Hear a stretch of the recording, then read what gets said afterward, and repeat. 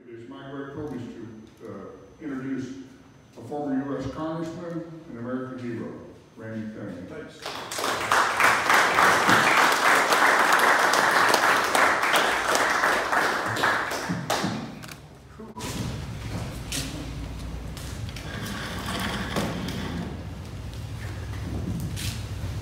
I'm sorry, I, I just lost a good friend here.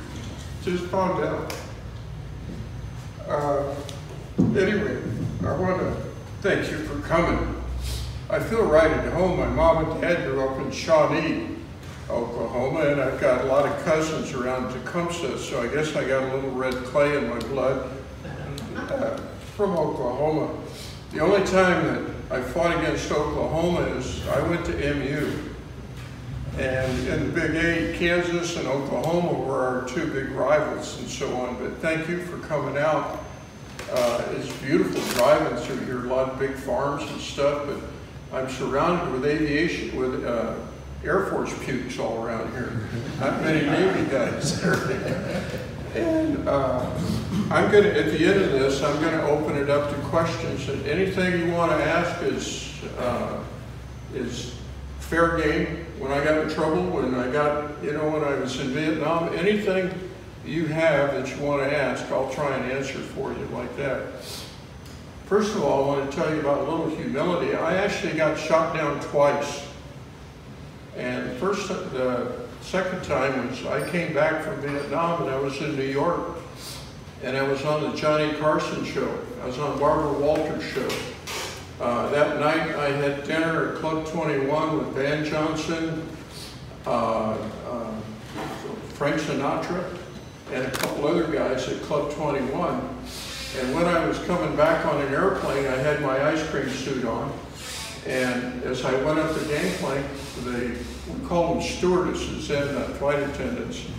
The uh, stewardess, she looked at me and she said, you went to University of Missouri, didn't you? And I remember thinking, she knows who I am. She's, I'm gonna get lucky when I get to San Diego.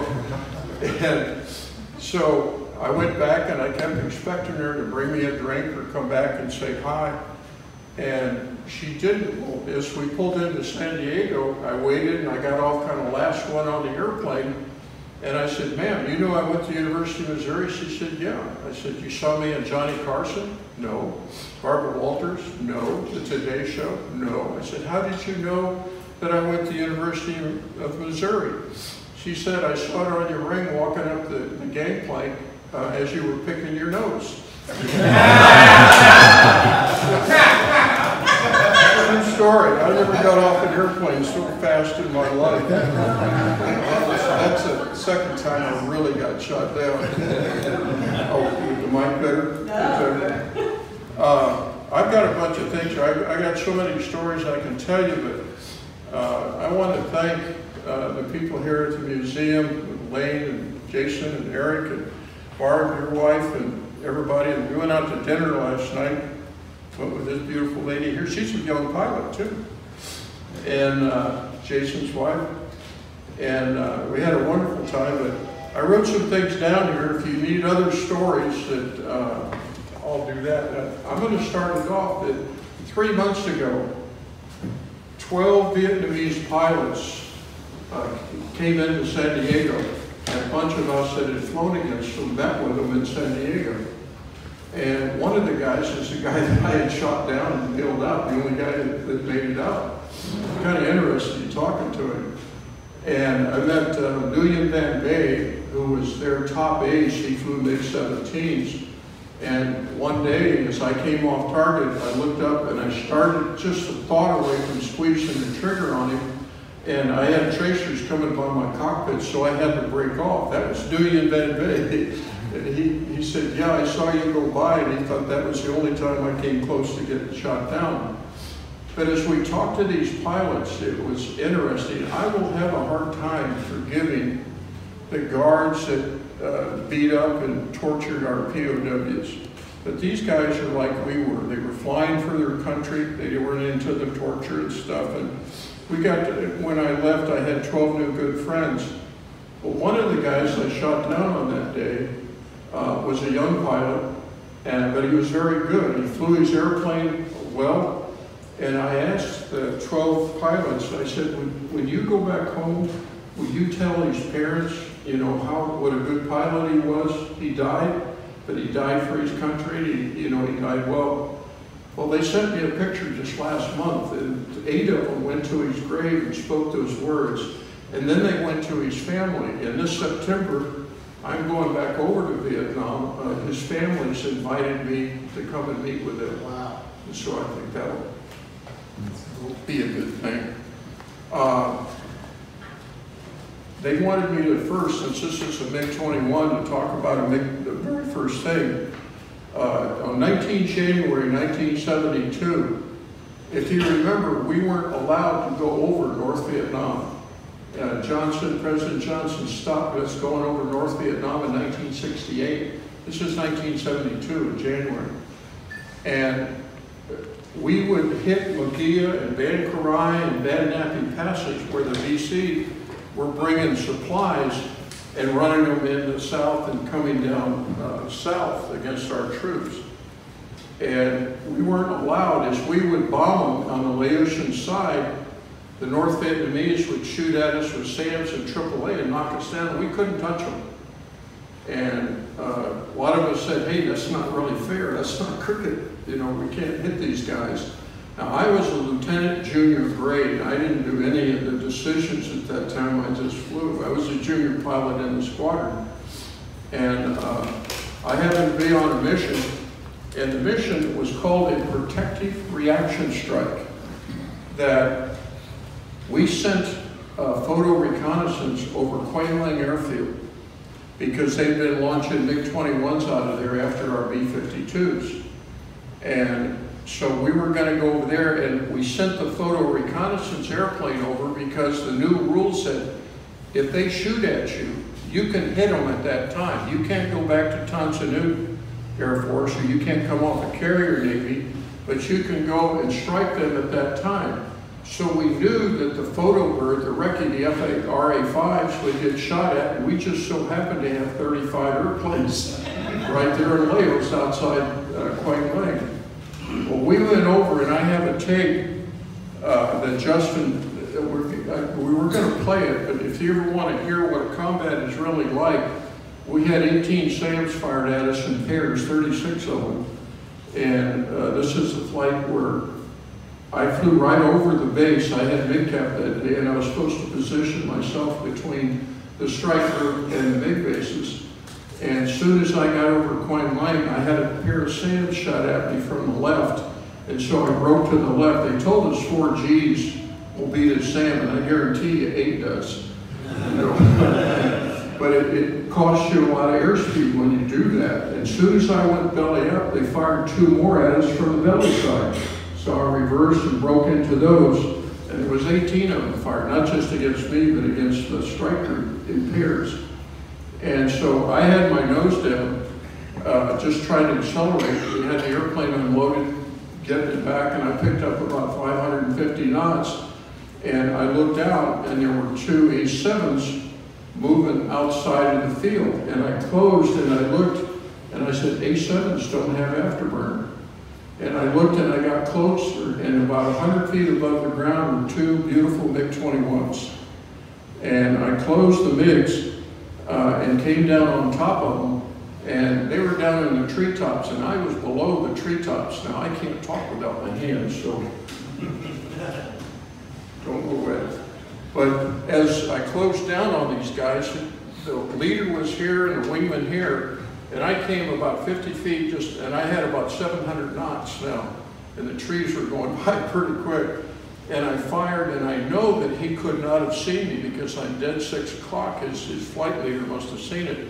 Well, he broke into me, and I could see the vapor coming off the wing. And uh, I fired, and the missile came off and went here. It couldn't handle the turn. And I did a roll over the top, and I'd never done a roll like that at 50 feet above the ground. It scared the hell out of me because I got like this, and I saw the ground, and I whipped it.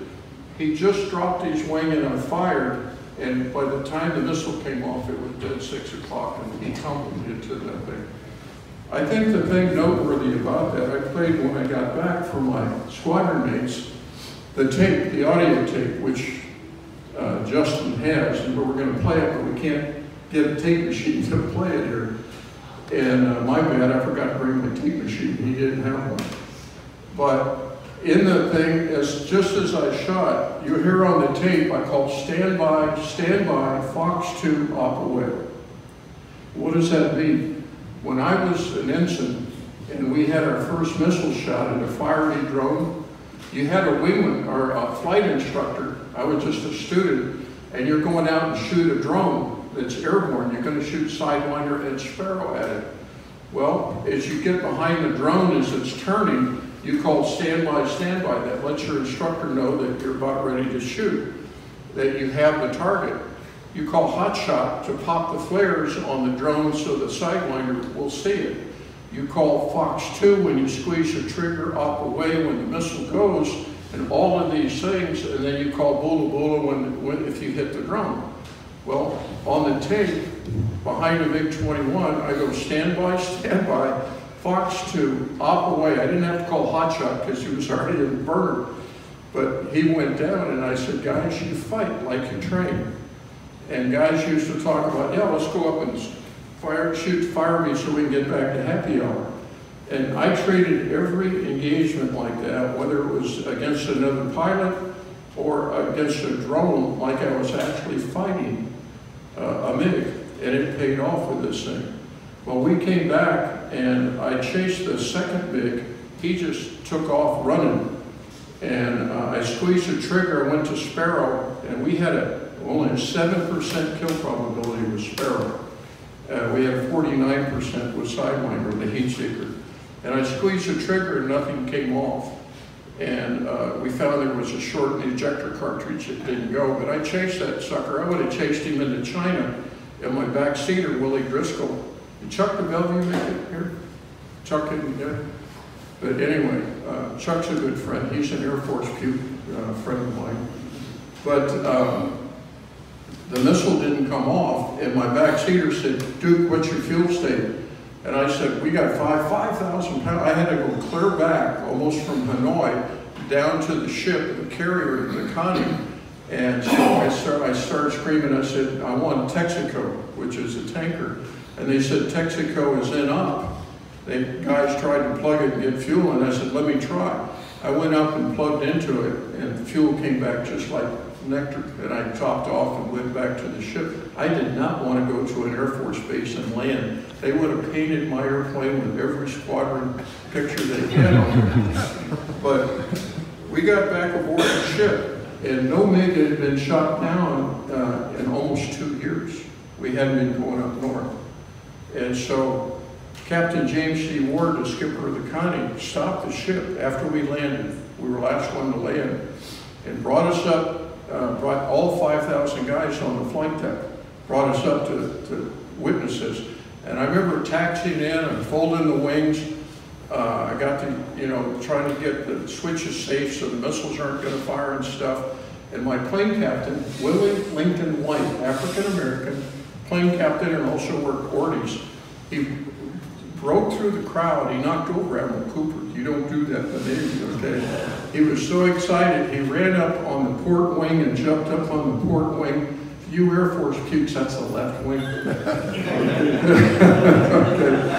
But he jumped up on the wing and he, I'm just trying to get the ejection seat pin in.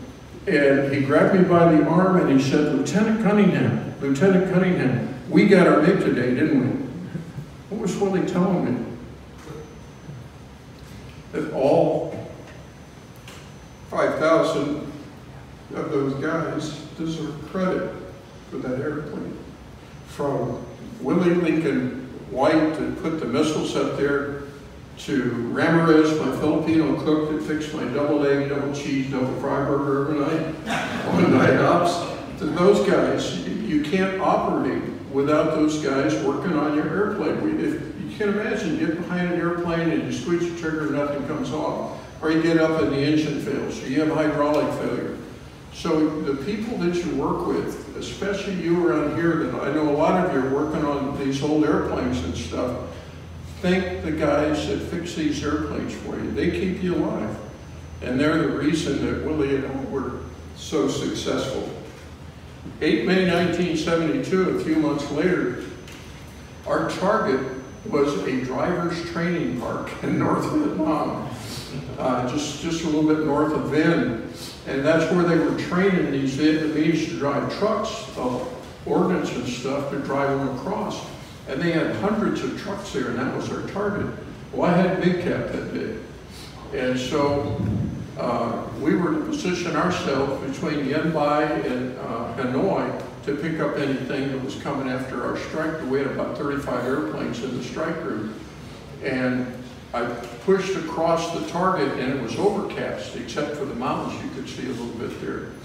And we got about 15 miles north, uh, west of that, northeast. And uh, the flight controller, Red Crown, called up and, and said showtime, which was our call sign.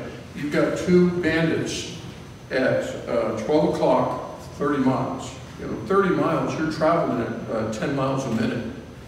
And that's just your speed. If they're flying at, saying you're, you're closing at 60 miles a minute, and that that's, happens pretty quick in a jet.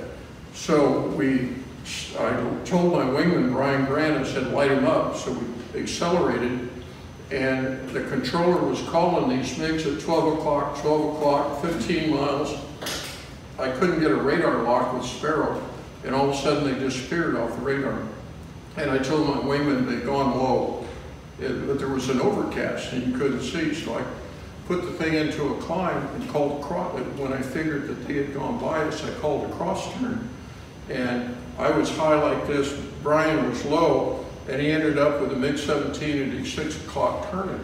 And I came back around, and uh, as I came back around, two more MiGs flew right over the top of me. And I figured my wingman's going that way, he's being chased by a MiG, they're going that way, they're out of the fight for a second. But they turned inside of each other and came down behind us. The one MiG was at about 70 degrees, which our missiles had to be about 40 degrees. But he was getting close to Brian, so I shot just to scare him. And he actually turned. The missile went by him and he came off of Brian and he knew that the missile came from here, but why did he turn right where the missile came from? I never figured out. But he turned and I shot second missile, he blew up. But at that time, those two MiGs, I had tracers coming by my right side. So I went this way and I had tracers coming by the left side. And if I go up, he's going to rendezvous on me. So I rolled the airplane, put 12 Gs instantaneous, not so you can't sustain 12 Gs.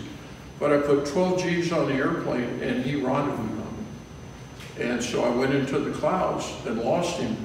And I never did see him again, but two Air Force guys, I think, shot down two MiG-17s up by Yen. And I hope it's the same son of a gun that was shooting at me that they knocked down. So that was the 8 May. 10 May 1972, two days later, uh, I was I looked at the flight schedule and I went on it, and they're going right down at Hai Duong Railroad Yard, just south of Hanoi. And I called the skipper and I said, Skipper, we're short a fighter, and CAG has these airplanes down in the hangar bay getting spit shine for his change of command in a couple of days. And he said, well, go talk to CAG. Gus Eggert, really a nice guy. And I went to CAG and I said, CAG, I want to go on this flight and the only airplane available is yours down getting spit shine. He said, well, Duke, if you can get it up out of the hangar, get it fueled, get the missiles on it, this was like two hours before launch. And you can do it. Well, I knew the maintenance guys. They got the airplane, got the missiles on there, got it fueled and stuff. But as I launched, the strike group had already, I couldn't even see them. They were already heading toward the target. And so it actually was a big boon for me because the tanker was circling at 16,000 feet. I went up and I was climbing and I called the tanker to head toward the strike group. And so I plugged into him and he gave me extra fuel all the way to when I turned in to go feet dry. So I had a full fuel tank at altitude uh, as I got to the, the, ingress period. And as I went in, uh, they hit the strike group. My target was a railroad yard. And I came off the target like this, and my, my wingman again, Brian Grant, said, Duke, MiG 17 at 7 o'clock. And I had just told Willie, I said, Willie, look at that military target we just hit, because it decimated it, just at the railroad yard. And I looked like this, and I had tracers coming by. And a MiG-17 had his nose about 40 degrees down. Now, those of you that know about a MiG-17, he doesn't have hydraulically boosted controls. And at 450 knots, he has a hard time moving that, sticks like a piece of iron to turn it.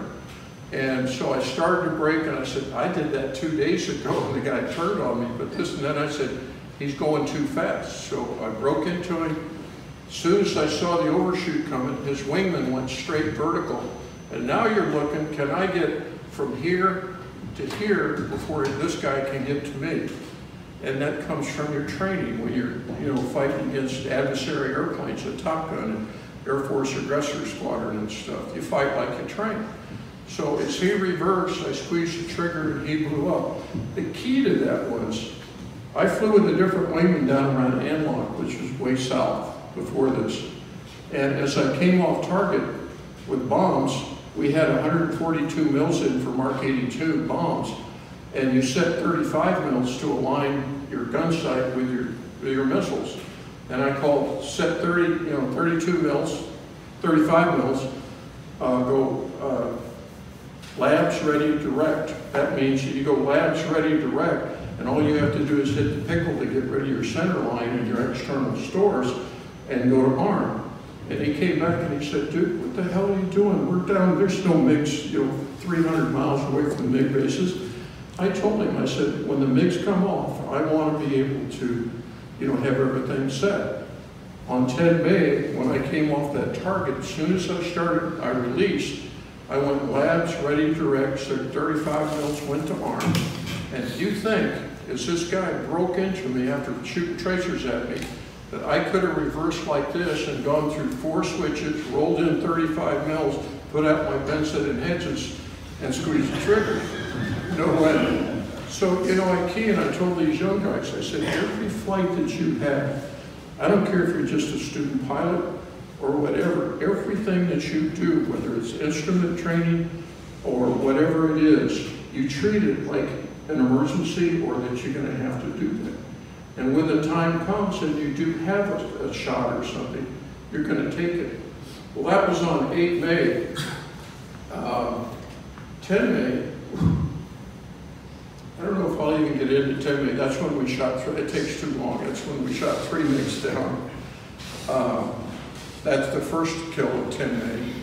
The second kill was, as I came off that, uh, shot him, I accelerated, did a, a I still had full innards. Uh, I just got rid of my center line in a vertical pull-up, blew it, so I had full internal fuel. And there were MiGs all over the sky, so I said, I'm not going back to the carrier yet. There's more MiGs out there. And I came, and there was a defensive wheel, MiG-17, MiG-17, MiG-17. And in that wheel, in that circle picture, like a, a wagon's rolled up, there was two Navy F4s. You don't get in turning fight with MiGs and like that, but one of them was my XO, Dwight Timm. And he came out of that MiG and he turned in front of me like this and the MiG chasing him, I came and I just started to squeeze the trigger and the second Phantom, which I didn't see, if he had had another coat of paint on, I would have hit it. I mean, his, his filled my windscreen like this and I went through his jet and the XO went out, so I went blowing straight through, came back and got in behind the MiG. We had the XO with the MiG here. Uh, if he's right here, he had a MiG-17 here. He had a single MiG-21 here, and he had a MiG-17 here that he didn't see. And I was too many angles. If when you listen to this tape on 10 May, I scream at him to reverse starboard because I'm too many angles. And every time I turned in this way, I had four MiG-17s and four MiG-21s above us, uh, and they would come down and shoot at me. And I couldn't get him to turn because I couldn't take the MiG off of him. And plus, if I shot a Sidewinder, the Phantom had a much hotter engine, and the Sidewinder could kill my wingman instead of the MiG. So we had a maneuver called, you know, reverse starboard which was called to reverse like this, and turn down. Now the MiG is, is like this. So you can imagine as you turn like this and you reverse and you're taking your tailpipe away from him, he, look what he's doing. He's turning his tail right to me. And finally, uh, I screamed it three times and I finally said, if you don't go starboard, you're gonna die. And he went starboard. And so I shot and the, the MiG actually blew up pretty close to him. He saw the, the full explosion go off. And as we did that, the MiG-21s rolled in on him. And I thought, man, here comes, you know, I've got two more missiles left. And here came the MiG-21s like this, but then they knew I was there and they reversed like this and went and hauled. And I said, okay, that's two kills, that's enough, I'm out of here. And I headed toward the beach and uh, I saw a single MiG-21, I'm sorry, MiG-17 coming at us at about three miles away. And I said, Willie, here comes a MiG. We didn't see anybody else around us at that time.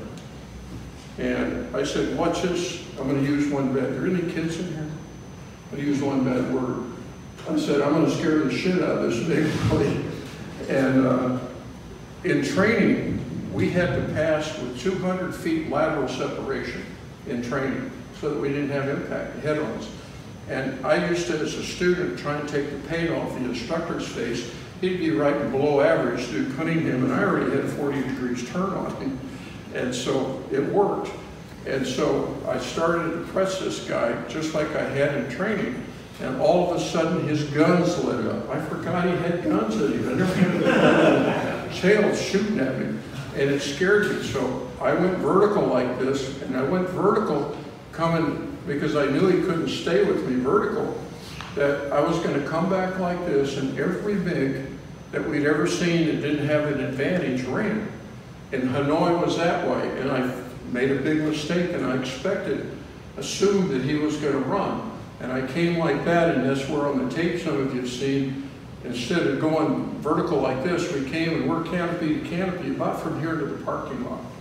And that's where I looked in and saw a little set of Gomer goggles, a little Gomer scarf on his head, and we're looking eye to eye. That gets your attention. And so I went over the top, and I was out zooming him, but I went like this on a turn, and he shot. I made another mistake. I gave him a predictable flight path. And so I dropped the nose, and he came in, and I picked up 500 knots like this, and I broke into him.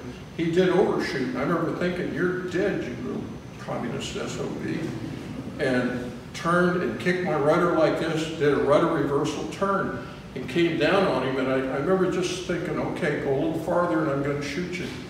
And then he broke into me, and I overshot him. He did a rudder reversal and came down. We did two of those, and that cost you a lot of speed doing that, pulling all those G's. And so I got away from him, and I had a guy named Dave Frost. I'm going to regress again who, when I was a Lieutenant JG, I guess my first Top Gun student flying simulated tactics, I went out and I beat uh, my, they say you can't beat a Top Gun pilot when you're a student. Well, I shot him with Sidewinder, I shot him with uh, Sparrow, and I shot closed and guns on him. We went below the deck. That's one of the parts of the movie that I got in trouble for is killing him, but I said he's dead. And uh, I came back pretty proud that, you know, I shot a Top Gun instructor. I split off from him, which you're not supposed to do. I came blowing by the tower, spilled coffee all over a guy, and I got in trouble. I didn't have to go see the base commander. I had to go see Admiral Walker at Commodore Pack, Vice Admiral. And he chewed my butt out royally. He used to introduce me at fundraisers and remind people he's the admiral that chewed my butt out, you know, for doing bad things. But the second guy I flew against was a guy named Dave Frost, now Admiral Frost. And I started off with him and the same thing. Started off behind him, we went vertical like this, came back around. Instead of me having advantage, advantage, it was disadvantage, disadvantage. And I'm going pure vertical like this. And he's still chasing me. He said, okay, Duke, roll, put your lift vector on. Use one G of gravity and pull. If I early turn, you go out my belly. If I stay here like this, go and unload. Well, he early turned, so I went this way. I had the nose buried too deep. He said, okay, you're going to give me the altitude to accelerate to catch you and kill you. He said, hold top rudder, unload the airplane because I was arcing. Go zero G to go like this, hold top rudder. He was flying my airplane for me.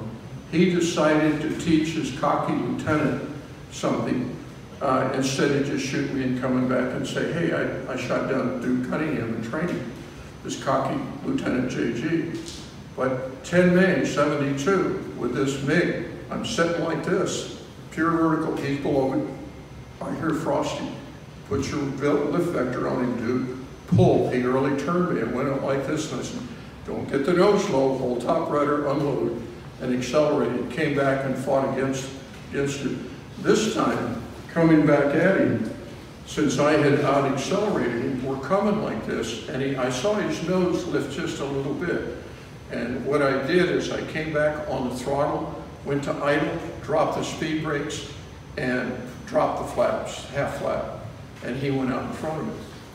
Now, I, the other mistake I made, I expected that MiG to keep going with a relative motion, but he ran out of speed, and I was too close. I was only about 800, 700, 800 feet behind him. If I'd had a gun, I could have blown him out, but Sidewinder wouldn't arm at that range.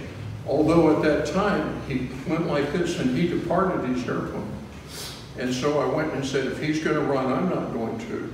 And in the dive, I got, and we got up to pretty high speed going down, and I shot about 60 degrees nose down after him, and he didn't make it out. That was the third kill that day. So I thought, man, this is great. I just shot down my fifth MiG. I'm gonna go back uh, to the ship and be happy as a lark, and I'll have a margarita. And uh, it didn't work that way. On the way out, uh, we heard a call called Sam, Sam Nam Dinh. Nam was a city that was right here. And I looked over and I saw an SA-2 coming at about, it ended up coming as we're going about three o'clock. And I just started to break into it. And it's lucky I didn't, I was late, because it went off and hit the bottom of the airplane. If I'd have rolled this way, that shrapnel would have gone through and hit Billy and I both. So it sounded like somebody took a thousand BBs and threw against the airplane. And so I, I, looked at all my instruments, everything looked good, and so I put it into a climb. I got up to about 30,000 feet, and the airplane started yawing, and I looked at the hydraulics, and my PC-1, which is my primary hydraulics, was zero. PC-2 was fluctuating utility, which controlled the rudders. I had that, but it was lower than it should be, like this. And at that same time, Willie said, Duke, it's getting hot back here. I looked through the mirrors and there's about a 40 degree, uh, 40 foot flame of fuel burning behind us. And we're still 40 miles over North Vietnam. And I remember thinking that any time, like maybe some of you, any time you got uh, in trouble, you asked for God's help. That's the only time I ever talked to God is when I got in trouble. And I remember thinking, God, the airplane went upside down. I said, God, get my butt out of here. I don't want to die. I don't want to be a POW. And I took the stick and I put it over to the side it went hydraulics, and the airplane kind of righted itself. And I remember thinking, God didn't have anything to do with this. It was just my superior flying skills that righted this airplane. But then the airplane went back upside down, and I said, God, I didn't mean it. Get me out of here. Well, we rolled the airplane and finally got, I heard this loud bang. I didn't know the whole tail blew off of the airplane. Uh, and, you know, went into a spin and I pulled the drag chute to try and break the spin and there was nothing. And I always told Willie, I said, Willie, if we're ever going to eject, I'm going to say, Willie, eject, eject, eject. And I only got Willie E in was not. but coming down in a parachute, I made a vow to myself. I said, God, if you really exist, I promise you I'll find out if you exist or not. When I got into San Diego, I met a guy named Dan McKinnon, and a devout Christian. I raced motorcycle. He had a thousand acre ranch. And we went out and raced motorcycles all day long. And we came back and around a campfire, and one of the guys I was racing with I'd never heard of, his name was Hal Lindsey. Hal Lindsey wrote. Late great planet Earth, Satan's and well. He's, he's a minister up in Diamond Bar. And we sat around the campfire and Dan broke out the Bible. And a uh, elderly man and woman walked up, drove up, and they walked down to the lake. And it was, it was uh, Billy Graham and Ruth Graham. And he was having a crusade tomorrow, the next day, and I told him that story. And so he had me go to the crusade, and he told the story, and we got a standing ovation. I went on two other crusades him. But here I, I asked for help, and he sent it. Dan was also president of the Country Music Association, and I got to be on the old Ryman building with Johnny and June Carter Cash and Mom Maybelle and the rest of them. They come and did fundraisers for me when I was in Congress. And uh, I stayed with Johnny for a whole week and June Carter. So being, becoming a Christian has been like a sine wave. It's not just doesn't happen. I don't know about to you. But I want to tell you something. For you that uh, have had any problems or anything, you lose a family member, a child, like these shootings in Texas that just happened, if you can imagine uh, not having your son or daughter come home from school, again. But I want to tell you, if you get on your knees and you say a little prayer, he's going to listen. I'm going to open it up to questions. I got one more story I'll tell you later and stuff, but I'll answer any questions you have. Yes, sir. I have a cousin that was uh, one of the last gunfighters. He flew F-8, uh, F-8s. We already said when you're F out of, when you're out of FH, it's no big deal. Well, he actually resigned his commission because back around 64, 65, the Navy kind of came out with a doctrine, no more dogfighting, you don't need it, you got missiles, no guns, none of that. Do you have stories that you could relate where you might have added to your tally if you'd had a gun solution Oh, available? yeah, on 10 May, I'd have two more MiGs today. Um, Nguyen Van Bay, I got directly behind him, and I couldn't, it was too close, I couldn't, shoot. I was gonna try and back off, but then I got tracers. If I'd have had a gun, and on that last kill, as I'm going up, I'm only about six, seven hundred feet behind him, but I can't shoot my sidewinder. He would have gone out of the sky, oh yeah. And it, it not just, the gun doesn't just allow you to shoot somebody close in. When I got a MiG chasing my wingman, and he knows I got heat seekers, he gonna try and sit in as close to my wingman as he can, knowing that I can't shoot. If I've got a gun, he's got honor that. As soon as I start closing, he's got a breaker, he's dead. So yeah, it made a big, and I know a lot of other guys in the Air Force and the Navy too, uh, that made a big difference for them. And the Air Force, I think the F-4E had a gun in it, twenty millimeter gun. And now, now today, they, uh, they listen to us and the F-14, F-15, and 16, F-18 all have twenty millimeter guns. But yeah, it made a big difference. Yes, sir. That was one of the plane captains that you guys referred to, crew chief on it for. And, uh, we had Su twenty-threes on, on ours, on our Bs. Okay, I have a little hard time hearing. It said we flew with C-23s on the, on the center line Bs with, with a gun. But my question to you is, I don't know if you recall this, it's kind of like an urban legend over there, when I was there. Uh, North Vietnamese Air Force had a, a colonel named Toon. He That was of- never, you know, it was never, Is it, is that real? Or- it was never verified. When I came back, they, I was pretty torn up. And I was down in, in my, uh, down in sick bay with the medics. My left knee had gone 90 degrees in the ejection and went back. This knee is replaced.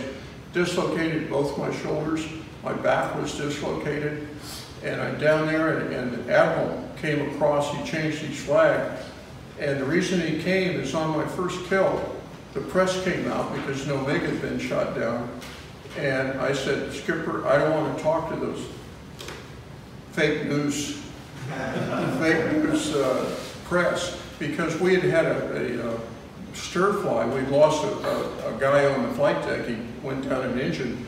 And the captain took the ship out. We had barbecue, and the guys got grass skirts, hula, hula skirts and stuff, and we're playing ukuleles. And here came the press, and they took a picture of it. Well, one, and one of the A7 drivers, they interviewed him, and they asked him, they said, how do you, Mr. Gorianik, uh, what do you feel like, you know, flying over Vietnam? He said, hey, I'm flying a hot little jet, A7, and I'm pulling it around and I'm flying. Well, what they wrote was, here's an A7 driver that loved killing Vietnamese. And so I said, I'm not talking to those SOBs. And so the captain said, press, get, get the hell off my boat. Well, after the second kill, they came, and I'm sitting up there on alert five, and they came in with their helicopters, and I called the captain, and I said, Captain, I don't want to talk to him, and he said, get the hell off my boat. Well, after this one, he came down when I was in the hospital, and he said, Duke, he didn't say lieutenant, he said Duke, and he said, you know, congratulations.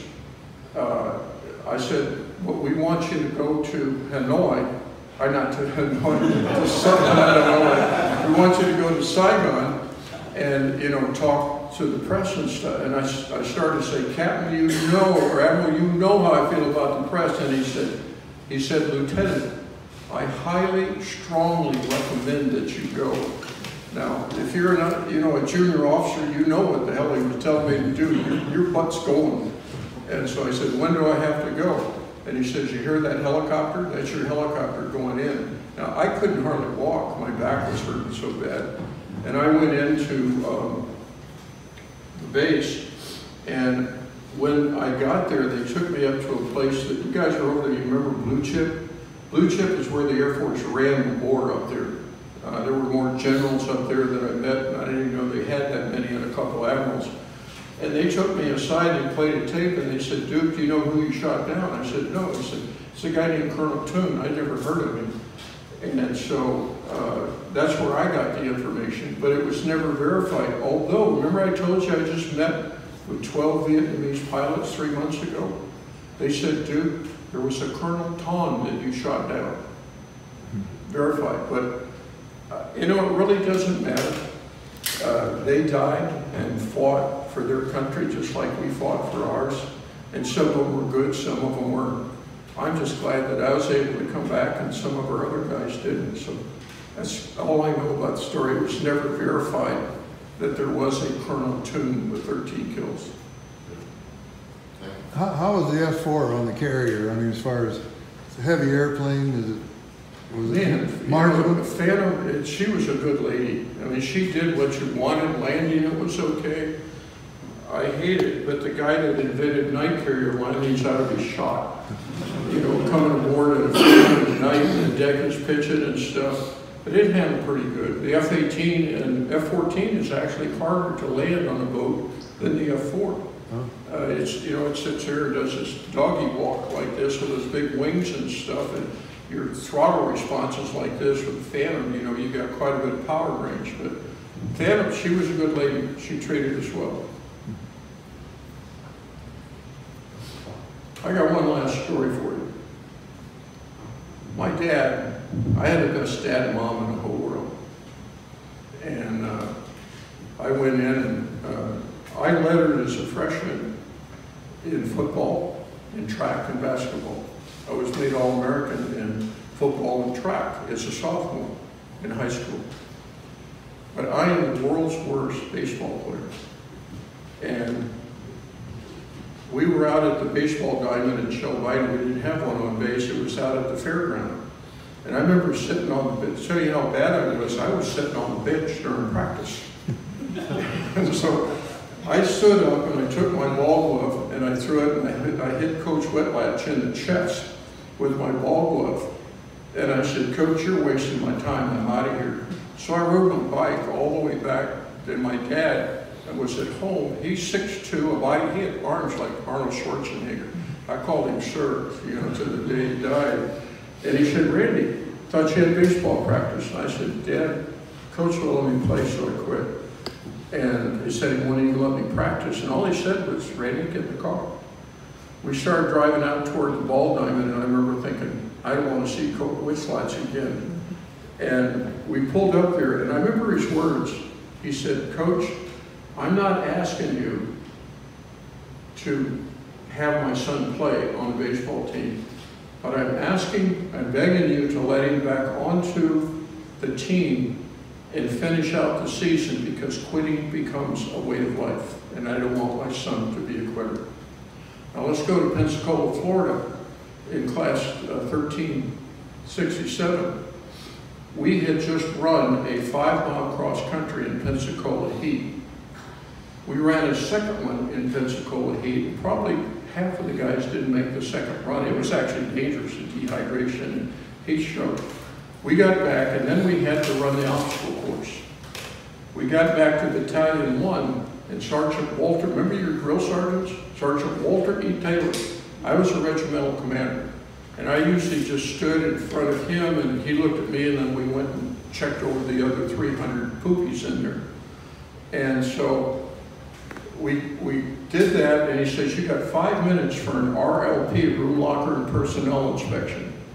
And uh, there's no way. Our, our khaki suits are so starched you could almost stand them up like a car, car, piece of cardboard. You got all your brass, your belt buckle, and your navy anchors that are on the desk, and you spit shot them with Brasso, and you take toothbrush to make sure your skivvies are folded six by six, and your socks are two by two. And so the sergeant said, you got five minutes for a room locker and personnel inspection. There's no way. I went running through the shower, took off all my sweaty stuff, I put on that, I put my brass on the collars and my belt buckle, I put it on the belt, and it just went, you know, it sticks to you, it's like a wetsuit. And I went out and I'm ready for inspection, and I never got in trouble because I was pretty squared away. And Sergeant Taylor stood here, and you don't eyeball a sergeant like this, you kind of look up, it's called eyeballing. So I'm looking out this way, and Sergeant Taylor got a quarter inch away from my nose and just started screaming. I said, what have I done wrong? And in my haste, the Navy anchor has a line running around it, and that line is pointed outward. In my haste to come out for this inspection, I had crossed those with the bitter ends, they're called bitter ends, pointing inward. I spent another two hours running, singing what a bitter end my life is coming to, to the tune of You God Dave. And Sergeant Taylor, Sergeant Ricker, and Sergeant Sanders would say, you're gonna quit Cunningham, you're gonna DOR, drop on request? And I said, no, sir. I have a silver dollar in my back pocket that I'm gonna spend because most of you know that the first non-commissioned officer to salute you after you become an officer, an ensign, the only guy you outrank is a gate guard, but you're now an officer, that you hand him a silver dollar. And I reached in my back pocket, and I, he said, show it to me. And I pulled it out, and my dad had given me, this is not the original one, I have the original one framed, but he uh, had given me this because over 50% of our guys quit flight training and quit. And he gave me this silver dollar to remind me not to quit. Newt Gingrich has got one of these. George Bush has one of these. I told him the story. Uh, three of the schools in San Diego give silver dollars to their student when they're freshmen, and they have to have them when they're seniors. And an idea not to quit. Usually, I'll talk to a group like this, and the silver, I'll find someone that's lost a child or fighting cancer or something like that. And I went to the Air Force Academy, the Air Force Puke Academy, and there was a young lady here uh, that was a little overweight, and she was thinking about uh, quitting the Air Force Academy, and she didn't come to my talk. Well, her classmates took a silver dollar that I gave them to give to her, and they told her the story. Three years later, I got a letter and said, Dear Mr. Cunningham, I still have my silver dollar and I just graduated. Great. That's all I got unless you got questions. Yes. Did you uh, have uh, varying tactics that you had to use for, with the MiG-21 versus the 17, with performance differences? Oh, yeah, yeah. Uh, Every airplane is different, whether in World War One, World War Two, whatever. And that's where, uh, the guys, I had, and I had an old truck, and I had a gun sight set up in it. I had all my labs ready, direct switches come. I see an airline, I'd estimate the angles off and go through the switchology and everything, training myself. But I also studied every airplane, like the MiG-17, I knew didn't have uh, hydraulically boosted controls because I flew against the MiG up at, uh, the MiGs uh, up at Area 51, Tonopah, before I went to Vietnam. And so I knew what they would do and what capabilities were doing. But the MiG-21, first of all, you wouldn't try and fight him above 20,000 feet.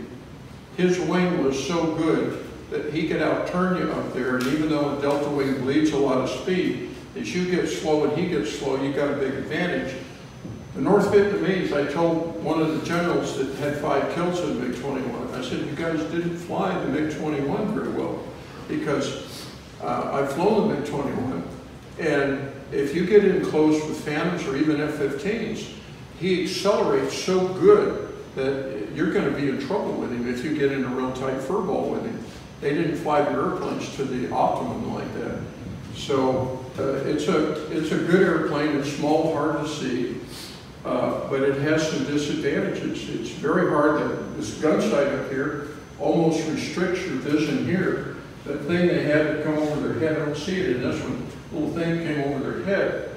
Uh, it restricts your aft visibility, and its visibility is terrible. It's a hell of an airplane, both the 17 and the 21. They even taxied the thing with the brakes. Uh, they carried Atoll, which was not as good as our Sidewinders. Uh, they, but they did have a 20 millimeter, uh, 23 millimeter, and a, the MiG-17 had 23 and a 37 millimeter cannon, which looks like, you know, it's a blowtorch, everything, every time that thing goes out, it goes boom, boom, boom, up like that. But it's a big BB.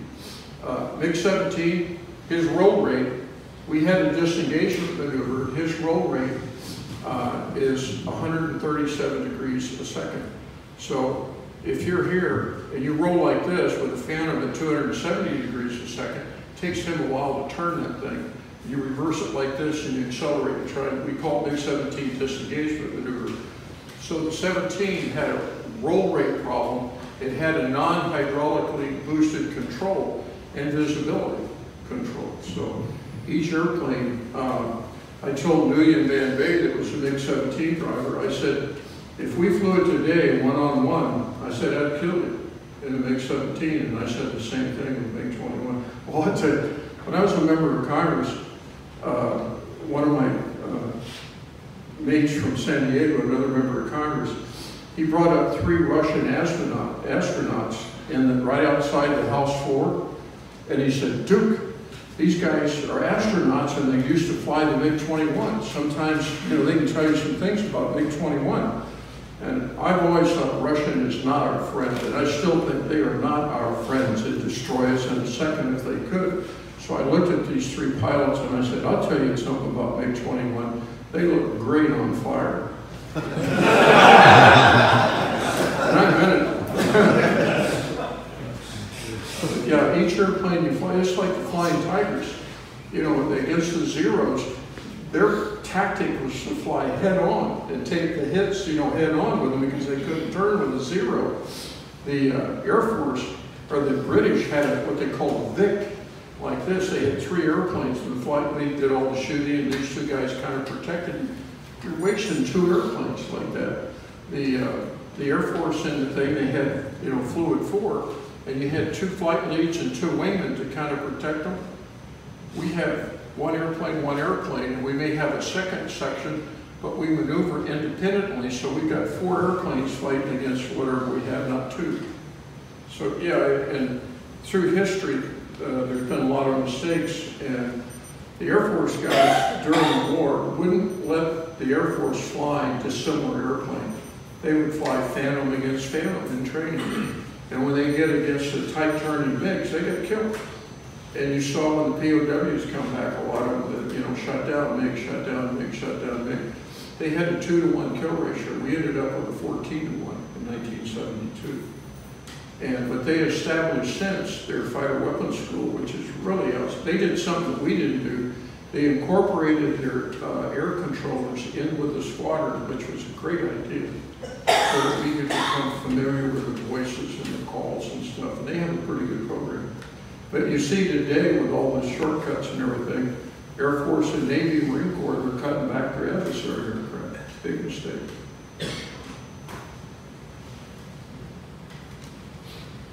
Yes, sir. What about your personality made you, uh, uh, willing to push the envelope within an inch of flying out of control to give you that success rate compared to any of the other pilots out there? You more courageous, you more brilliant, you just luck or? No, I, I grew up flying model airplanes and we used to tie crepe paper on. We didn't have remote control, but we had them on, you know, strings. And we would tie crepe paper on the airplane and we would dogfight and he had to cut the other guy's crepe paper off and he was dead. Sometimes we hit each other's airplane. And, you know, I wanted to, to do that well. I made up my mind. I had, all of you had different bosses that you worked for, whether in the Navy or not. Some of them were good and some of them were ugly. You know, they're not good bosses. And I made up my mind to take all the things that I had liked about my skippers when I became commanding officer, like paying attention to my troops, meeting with them regularly, telling them what a good job they're doing and thanking them for their efforts and stuff. Uh, and that was something in my own personality that I just said, hey, I want to be the best commanding officer that they've ever had. I had five women in my adversary squadron officers, and most of the women were assigned as push paperwork. I got them called in the back seat. Uh, we had a T-38 and an F-5 uh, two-seater. We had A-4 Skyhawks, and I got them trained in the back seat. And when we went over to the tax range in El Centro, they ran the, the, the intercepts for us.